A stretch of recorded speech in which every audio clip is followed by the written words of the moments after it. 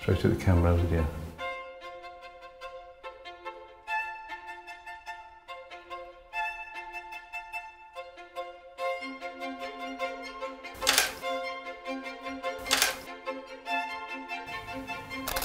Not sure yet.